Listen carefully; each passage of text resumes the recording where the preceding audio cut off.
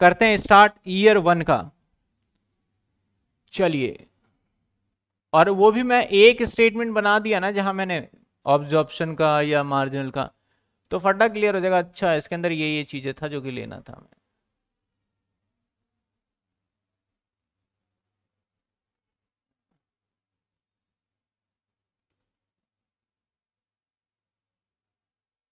चलिए सर।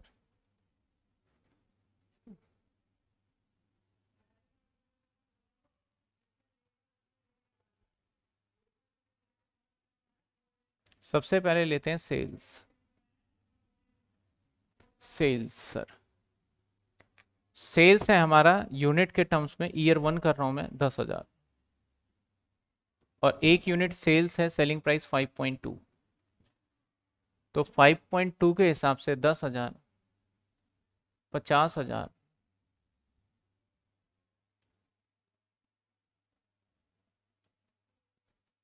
तो बावन हज़ार। ये मैं एब्जॉर्प्शन के हिसाब से कर रहा हूँ। एब्जॉर्प्शन के हिसाब से। ठीक है? अब ले लेते हैं प्रोडक्शन कॉस्ट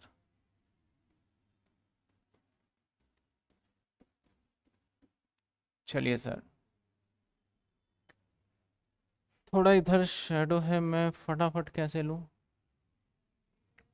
प्रोडक्शन कॉस्ट सबसे पहले वेरिएबल कॉस्ट वेरिएबल कॉस्ट कितने रुपए सर 1.25 कितने यूनिट प्रोड्यूस किया? एक, पच्चीस.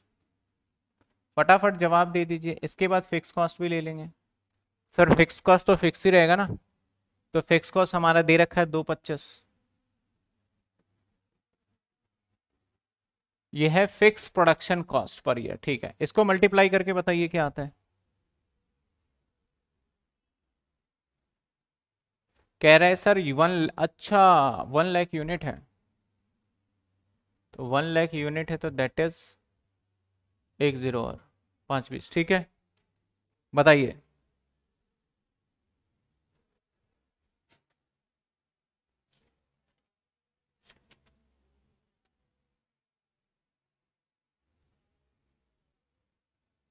मल्टीप्लाई करिए। एक छप्पन पाँच दो सौ पचास।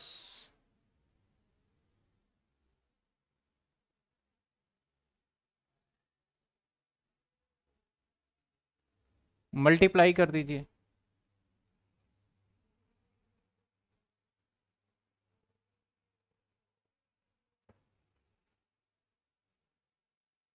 फिक्स कॉस्ट अभी देखते हैं, अभी क्या करना है साक्षी।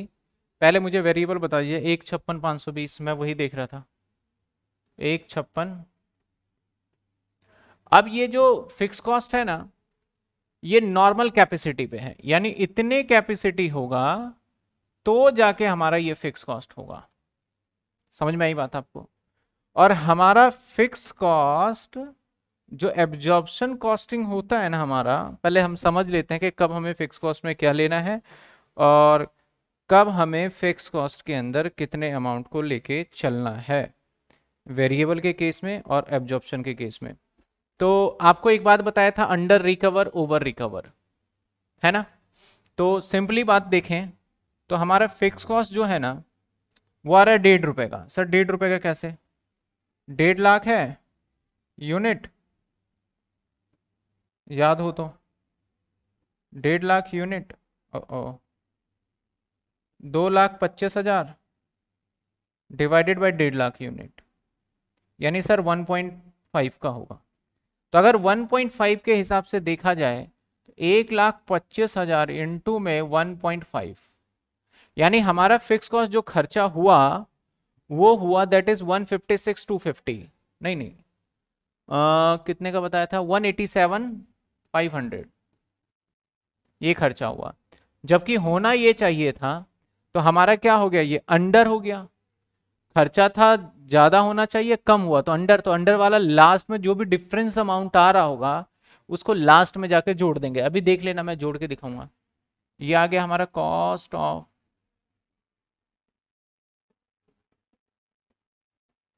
सर जोड़ लीजिए। बताइए फटाफट cost of production sir cost of production बता दीजिए। बताइए क्या आ गया? सर अंडर सैंतीस अच्छा ठीक है। आप टोटल करके बताइए कॉस्ट ऑफ़ प्रोडक्शन इतने मैं एडलेस कर लेता हूँ। Add opening stock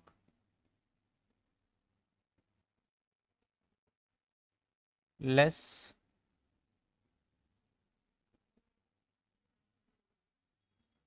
closing stock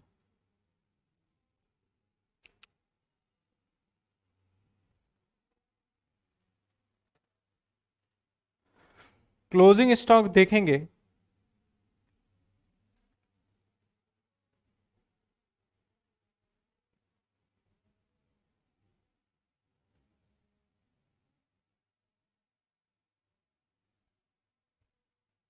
और ये एक चीज़ ध्यान मैंने नहीं दिया, ये जनवरी का है। दैट इज़ ये ओपनिंग स्टॉक तो ओपनिंग स्टॉक तो दे ही रखा है तो हमें दिमाग क्या लगाना? सत्ताईस हज़ार पाँच सौ। अब ये यूनिट दस हज़ार है, यहाँ निकाल लेते हैं।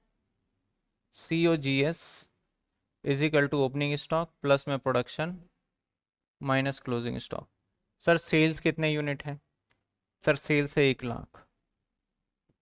सर ओपनिंग स्टॉक दस हज़ार। सर प्रोडक्शन एक लाख पच्चीस हज़ार। Minus closing. तो दस हज़ार एक पच्चीस कितने हो गए? एक लाख पैंतीस हज़ार। तो पैंतीस हज़ार आ जाता है हमारा क्लोजिंग स्टॉक। समझिएगा, पैंतीस हज़ार आ गया हमारा क्लोजिंग स्टॉक। तो थर्टी फाइव थाउज़ेंड इंटू में रेट ले लेंगे। सर, रेट कैसे आएगा? आप बता दीजिए मुझे, कॉस्ट ऑफ़ प्रोडक्शन क्या बन रहा है?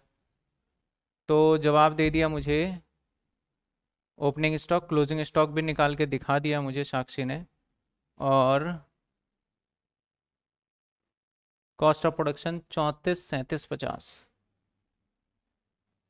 चौंतीस, सैंतीस, पचास। ठीक है। क्लोजिंग स्टॉक का रेट क्या आया? Two point seven five two point seven five और मुझे जवाब भी मिल गया टू पॉइंट सेवन फाइव के हिसाब से। ये बनता है, सर, छियानवे, दो सौ पचास।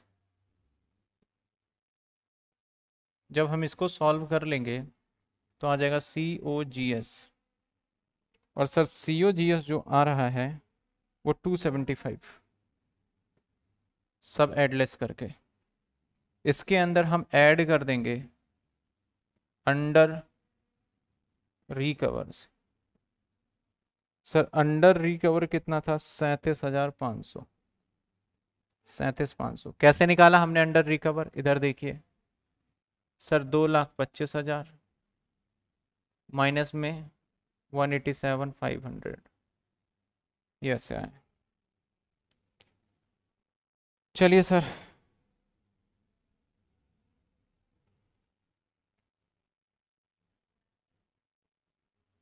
फिक्स कॉस्ट हो चुका और कुछ तो है नहीं। तो ये आ गया टोटल कॉस्ट। टोटल कॉस्ट क्या है?